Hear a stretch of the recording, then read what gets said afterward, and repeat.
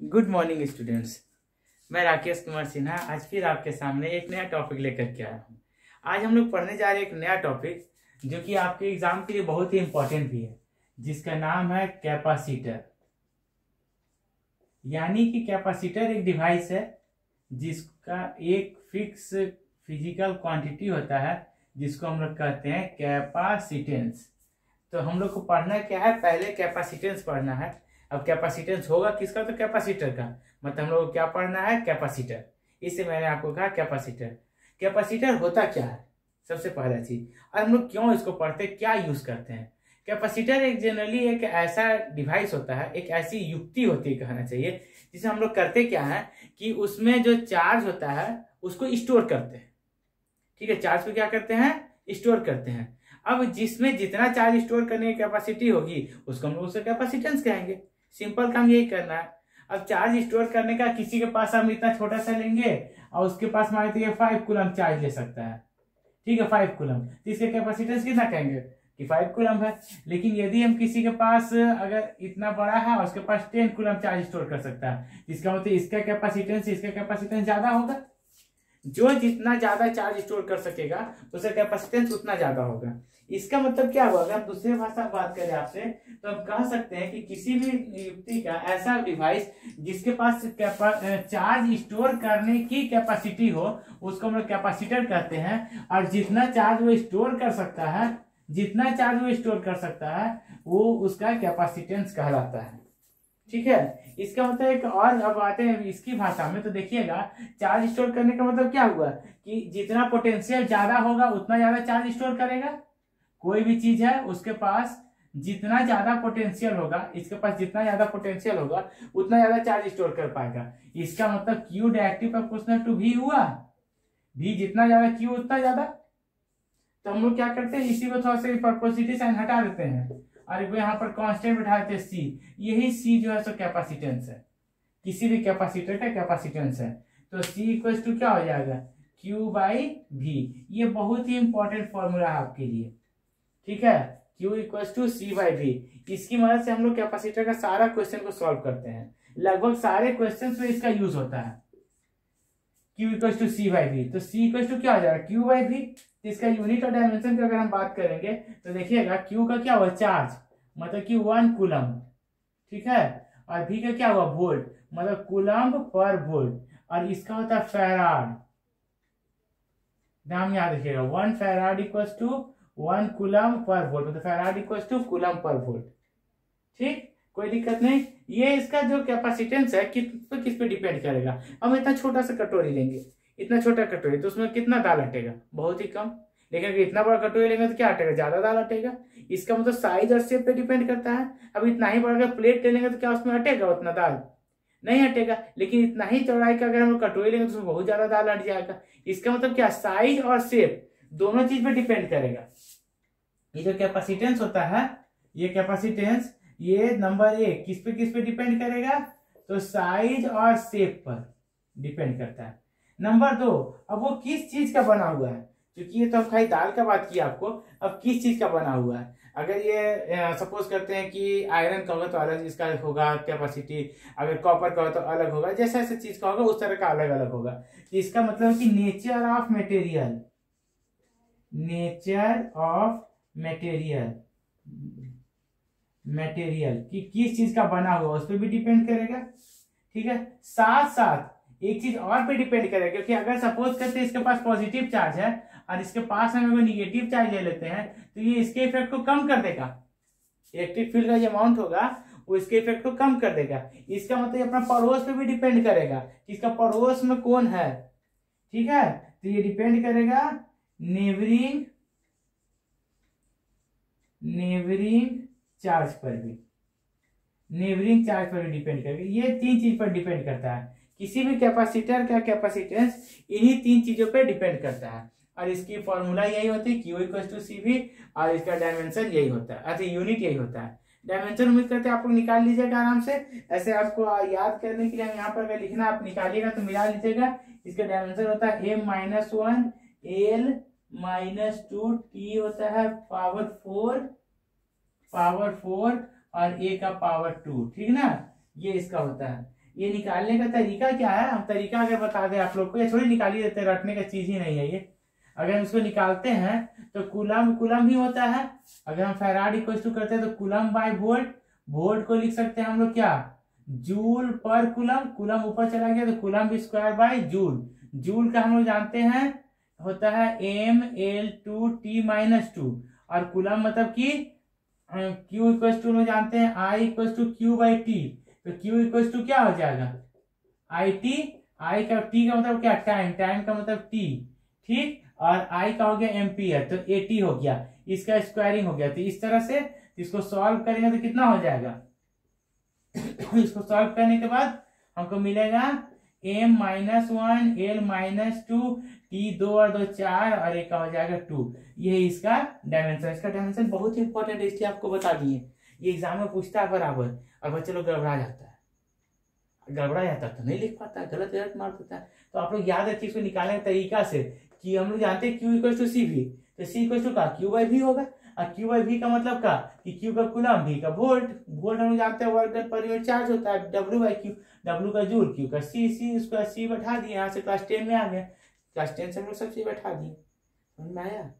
उम्मीद करते समझ में आ गया होगा। चलिए ठीक है, अब थोड़ा सा आगे बढ़ते हैं। यहाँ पर हम लोग कैपेसिटर के बारे में जान गए। अब क्या करते हैं कि वो गोलाकार कैपेसिटर लेते हैं। और गोलाकार कैपेसिटर का हम लोग कैपेसिटेंस निकालते हैं, ठीक ना? तो गोलाकार कैसा गोलाकार? सर्कुलर नहीं स्फेरिकल ठीक है?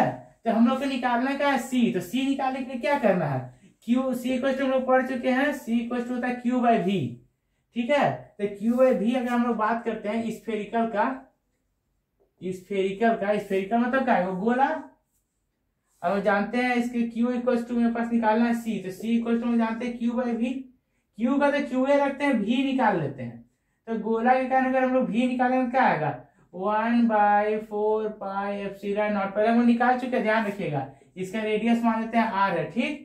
और ये पॉजिटिव चार्ज है प्लस क्यू इसके कारण हम निकालेंगे। तो पोटेंशियल कहीं भी क्या होगा? One by four pi F naught यहाँ तक।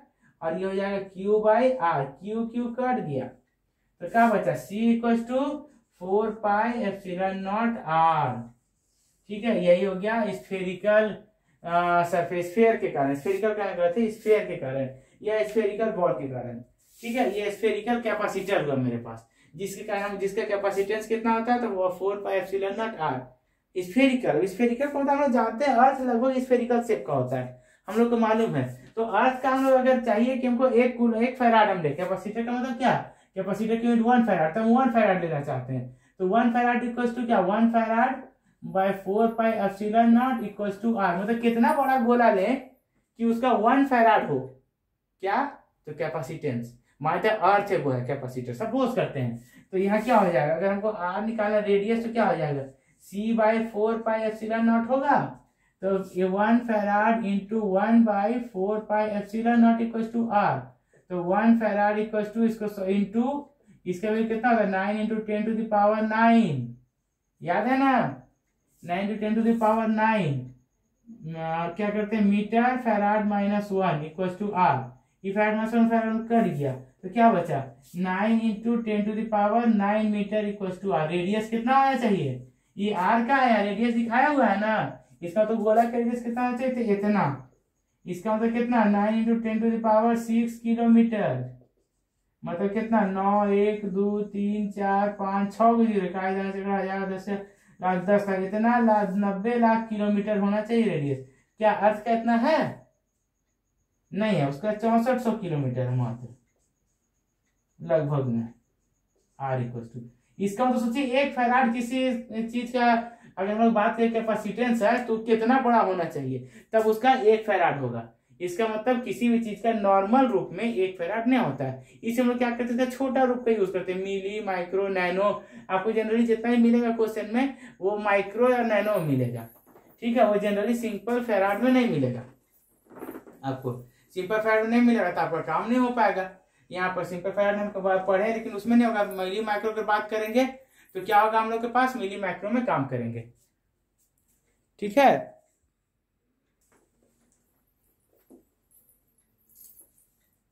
चलिए, अब आगे बढ़ते हैं। हम अभी बोले आप लोग को कि उतना बड़ा हम लोग को नहीं मिल सकता। तो अगर एक फेराड चाहिए तो क्या करेंगे हम लोग? अब एक फैराड चाहिए तो क्या करेंगे? अभी हम आपको बताया था, तीन चीज़ यहाँ लिखे थे। कि किस किस चीज़ पे डिपेंड करता है कैपेसिटेंस तो उसमें एक चीज़ उसका था कि आसपास पड़ोसी पर, कि अगर पड़ोसी आपका बढ़िया है तो आप देखिएगा कि जो उसका बगल में आप अगर रह रहे हैं आपका पड़ोसी अगर बढ़िया है तो आपको अच्छा हिम्मत रहता है कि अच्छा हम बाहर भी हैं, कहीं दिक्कत हुई तो पड़ोसी मेरा मदद करेगा। तो इसका पड़ोसी इसका बहुत मदद करता है। क्या है कि मान लेते हैं कि हम लोग प्लेट लिए सिंपल प्लेट लिए। ठीक है सिंपल प्लेट लिए।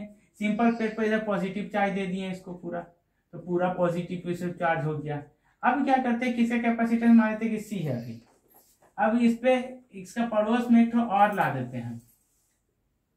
ठीक है? एक तो और ला देते पड़ोस में। जब पड़ोस में इसे लाते तो क्या करता है? माइनस को इधर खींच लेता है और प्लस को इधर धकेल देता है। ठीक? अब क्या किया? कि इसको हम ग्राउंडेड कर दिए? ज़मीन से जोड़ दिए। तो सब सब इलेक्ट्रॉन इसमें से आएगा और इसको न्यूट्रल कर देगा। इसका मतलब ये क्या हो गया? प्लेट निगेटिवली चार्ज हो जाएगा। और जब ये प्लेट निगेटिवली चार्ज हो जाएगा तो ये इस इलेक्ट्रिक फ़ील्ड इसके इलेक्ट्रिक फ़ील्ड को कम कर देगा। इसका मतलब इसके पास पहले से अगर 10 कूलम चार्ज था तो इधर के चार्ज को जो होगा, सो रिड्यूस कर देगा, कम न्यूट्रल कर देगा। खाली इधर का बच जाएगा। इसका मतलब है कि इसके पास और स्टोर करने की कैपेसिटी बढ़ जाएगा। अभी अगर दस ले सकता तो इसके पास कितना बचा? पाँच ही बचा है। तो पाँच फिर ले सकता है। फिर क्या करते इधर हम और बढ़ाएँगे, फिर इधर पाँच चीज़ घटाएँगे। जैसे जैसे हम आसपास के प्लेट के कैपेसिटेंस को बढ़ाते जाएँगे, वैसे वैसे इसका कैपेसिटेंस बढ़ते जाएगा। इसका चार्ज का कैपेसिटेंस नहीं, इसका चार्ज को हम लोग अपोजिट चार्ज को जैसे जैसे हम बढ़ाएँगे, वैसे वैसे इसका कैपेसिटेंस जो है बढ़ते जाएगा। इसका मतलब ये डिपेंड करेगा अपने पड़ोस पर। इसको हम लोग कहते हैं पैरल प्लेट कैपेसिटर क्या कहते हैं? Parallel plate capacitor. और जनरली हम लोग इसी का उपयोग करते हैं। अगर सिंपल कैपेसिटर की कभी बात करें, इसका सिंबल ही होता है पैरेलल ऐसे पैरेलल प्लेट कैपेसिटर का सिंबल सिलेंड्रिकल हो स्फेरिकल हो, कैस्नो कैपेसिटर हो। लेकिन सिंबल कैसा देंगे पैरेलल मतलब सोचिए कि ये पैरेलल प्लेट कैपेसिटर ही मेन कैपेसिटर है, जिसको कि हम लोग सब जगह यूज़ करते हैं। हाँ कहीं कहीं सिलेंड्रिकल और स्फेरिकल भी करते हैं, ऐसा नहीं कि नहीं करते हैं। लेकिन पैरेलल प्लेट कैपेसिटर में सबसे ज़्यादा यूज़ करते हैं। तो ये पैरेलल प्लेट कैपेसिटर कैपेसिटर के सिंबल ही दो पैरेलल लाइंस है इस तरह का। ये हो गया आपका फिक्स्ड ऐसा है तो फिक्स्ड जैसे होता है रेसिस्टेंस में। ये फिक्स्ड लेकिन ये वाला आपका हो गया वेरिएबल तो इसमें भी अगर वेरिएबल बनाना है? तो ये हो गया आपका वेरिएबल जिसका कि मान हम लोग बदल सकते हैं। ठीक है? ये वाला फिक्स ये वाला वेरिएबल ये वाला फिक्स ये वाला वेरिएबल ठीक है? ये वेरिएबल समझ में आया? ना तो हम लोग के पास ये पैरेलल प्लेट कैपेसिटर अब आ गया। अब पैरेलल प्लेट कैपेसिटर का हम लोग कैपेसिटेंस निकालेंगे। ये बहुत इंपॉर्टेंट है, आप लोग को एग्ज़ाम में भी पूछता है पैरेलल प्लेट कैपेसिटर का। और इसको निकाल देना आप लोग की, इसका फॉर्मूला अगर जान जाइएगा आप लोग तो आप लोग को बहुत काम आएगा। सबसे पहले क्या करते हैं कि हम लोग दो प्लेट लेते हैं। दोनों प्लेट के एरिया और ये ले लेते हैं। एरिया क्या लेते हैं? कि जब हम लोग ई e का बात करेंगे तो हम लोग के एरिया का, फिर सिग्मा का, क्या क्या चीज़ का, बकवास बकवास चीज़ का यूज़ करना पड़ेगा। तो सबसे पहले मान लेते हैं कि इन प्लेट का जो डेंसिटी है चार्ज डेंसिटी इसका प्लस सिग्मा और इसका माइनस सिग्मा सबसे पहला चीज़ मान लेते हैं, ठीक है? दोनों के बीच में कुछ नहीं, खाली जगह है। तो एप्सिलॉन नॉट हो गया इसका परमिटिविटी हो गया एप्सिलॉन नॉट अब क्या करते हैं, जब इधर इधर का बात करते हैं तो ये चूँकि निगेटिव है, इसके पास पॉजिटिव नहीं है। ठीक है इसके पास पॉजिटिव नहीं पॉजिटिव तो न्यूट्रल कर दिया। इसका मतलब क्या है? इसके पास खाली निगेटिव है। तो निगेटिव तो माइनस सिग्मा तो इसके कारण, इसके का इलेक्ट्रिक फ़ील्ड जब देखते हैं तो इसका ऐसे। इसका ऐसे और ऐसे तो खत्म हो गया कैंसिल इसका भी अंदर की ओर ऐसे इसके कारण ऐसे तो इधर भी कैंसिल इलेक्ट्रिक फ़ील्ड यहाँ भी ज़ीरो और इलेक्ट्रिक फ़ील्ड यहाँ भी ज़ीरो लेकिन यहाँ पर क्या, एक डायरेक्शन में। ई वन प्लस मतलब E one plus plus E minus दोनों को हम लोग जोड़ेंगे। और एक प्लेट के लिए हम लोग कौशिक थ्योरम में निकाल चुके हैं। प्लेट के ई इक्वल टू क्या होता? है sigma by two epsilon naught तो हम लोग यहाँ का आते हैं region one region two region three region one में ज़ीरो ई वन में ज़ीरो ई टू एग्जिस्ट करेगा. Sigma by two epsilon naught plus sigma by two epsilon naught मतलब कि two sigma by two epsilon two two cut गया. बचा का sigma by epsilon naught E three में फिर zero का है कि डायरेक्शन उल्टा है? देखिए चित्र में दिखा दिए हैं. यह चित्र में आप लोग को दिखा दिया गया डायरेक्शन उल्टा है, इससे ई कैंसिल हो जाएगा. ये देखिए डायरेक्शन प्लस से बाहर कर माइनस में अंदर की ओर। ठीक है? तो ये तीसरा भी ज़ीरो तो इसका मतलब ई मिल गया आपको। अब दोनों प्लेट के बीच का डिस्टेंस मान लेते हैं कि डी है। ठीक है? तो हम लोग का भी निकल जाएगा। भी इक्वल टू ई डी जानते हैं हम लोग? तो ई का हो गया sigma by epsilon naught into D अब भी तो मिल गया। अब निकालना क्या था हमको? सी सी क्वेश्चन में जानते हैं क्यू बाई भी होता है। ठीक है? तो क्यू बाई भी का मतलब क्या? क्यू अगर हम सिग्मा लिए हैं तो एरिया उसका पूरा क्या ए ले लेते हैं।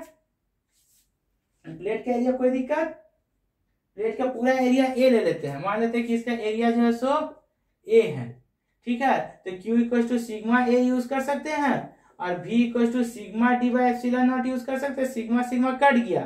तो बचा क्या सी इक्वल टू देखिए सी इक्वल टू क्या बचा? सी इक्वल टू बचा यू उलट के ऊपर चला जाएगा। Epsilon naught A by D किसी को दिक्कत नहीं होना चाहिए। यही पैरेलल प्लेट कैपेसिटर का कैपेसिटेंस है। जबकि बीच में आपका कुछ ना हो मतलब कि वैक्यूम है, जहाँ एप्सिलॉन नॉट का यूज़ करेंगे हम लोग, और आगे में सारा काम करेंगे। ठीक है? उम्मीद करते हैं यहाँ समझ में आया होगा आप लोग को। यही पैरेलल प्लेट कैपेसिटर है जिसका कि हम लोग कैपेसिटेंस इस तरह से निकालते हैं। अब इसको देखिए सी क्या क्या चीज़ पे डिपेंड कर रहा हम इसको मिटाते हैं अब थोड़ा ठीक ना? इसको मिटा देने का आपको दिखाते हैं फॉर्मूला पर। जब भी आपका डिपेंडेंट कब आता है तो हमेशा आप डायरेक्ट फॉर्मूला पर जाइएगा।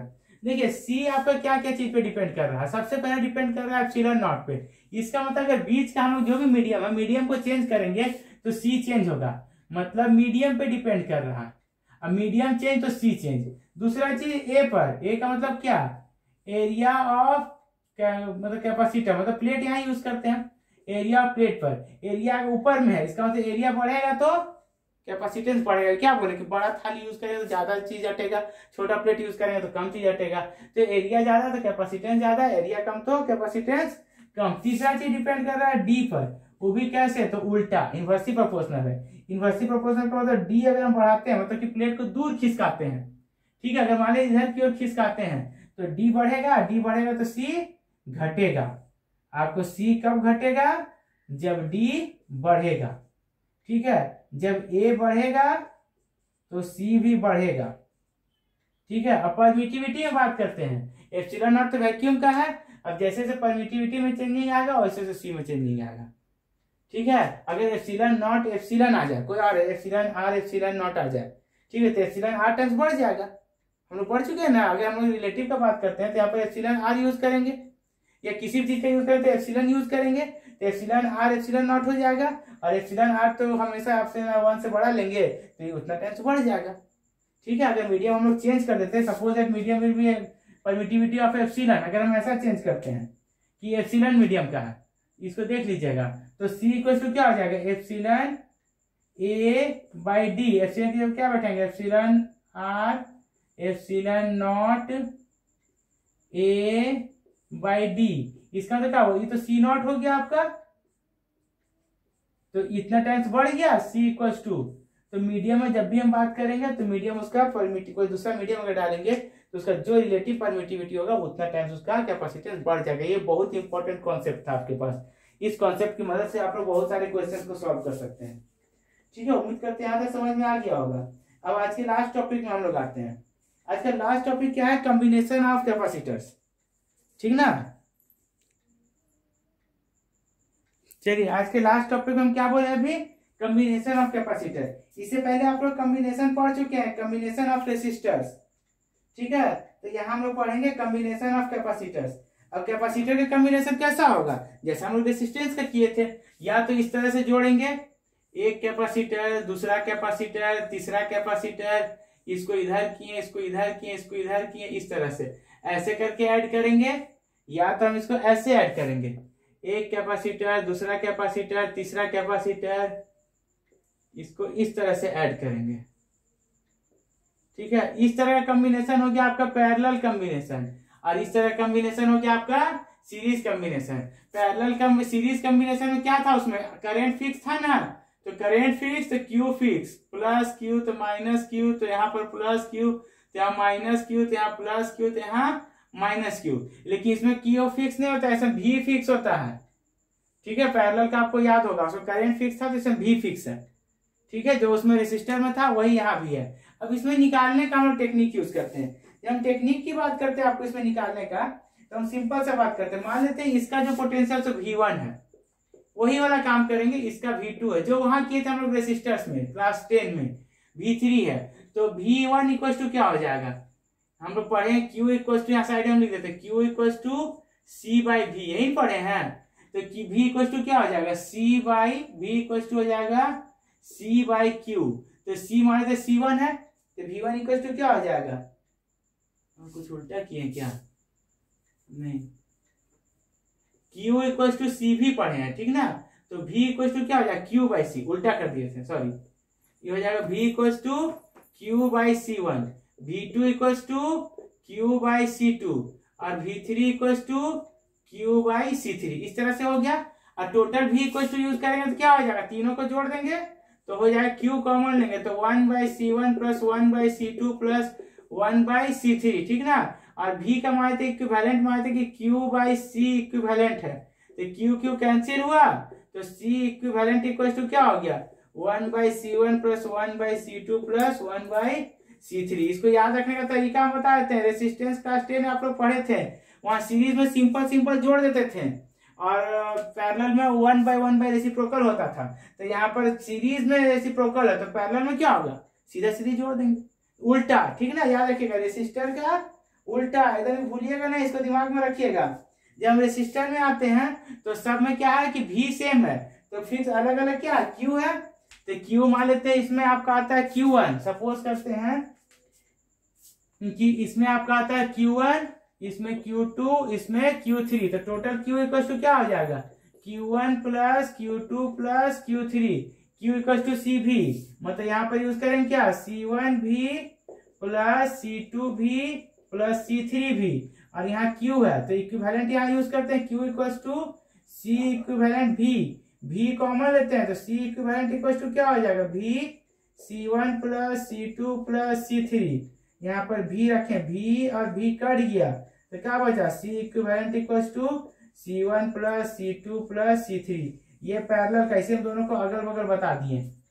ठीक है? और इसमें क्यू अलग अलग होगा क्योंकि सब में अलग अलग बढ़ जाएगा यहाँ से, और भी फिक्स होगा, जो पैरेलल में होता है। और इसमें सीरीज़ में आपका भी अलग अलग होगा क्यू सेम होगा। ये आपका कैपेसिटर का खत्म हुआ टॉपिक कैपेसिटर में थोड़ा सा बच गया आपको डाइलेक्ट्रिक को प्लेस करेंगे हम लोग। ठीक है प्लेस करने के बाद ये टॉपिक लास्ट हो जाएगा और खत्म हो जाएगा। ज़्यादा इसमें नहीं चैप्टर खत्म हो जाएगा। तो उम्मीद करते हैं अगले क्लास में ये खत्म हो जाएगा। आज के क्लास में यहीं तक रखते हैं। उम्मीद करते हैं आप लोग को सब अच्छा से समझ में आएगा। जो नहीं समझ में आया होगा, ये व्हाट्सएप नंबर पर हमको भेज दीजिएगा। आपको हम भेज देंगे समझा करके। दूसरी चीज़, अगर आपको अच्छा लगे समझ में आए तो चैनल को लाइक और सब्सक्राइब ज़रूर कर लीजिएगा। उससे फ़ायदा क्या होगा हमको? कि पता चल जाए कि आप मेरी वीडियो को देख रहे हैं। नहीं तो ऐसे लगता है कि हमारी वीडियो देख रहे हैं कि नहीं, पता ही नहीं चलता। ठीक है तो तब तक के लिए goodbye take care okay bye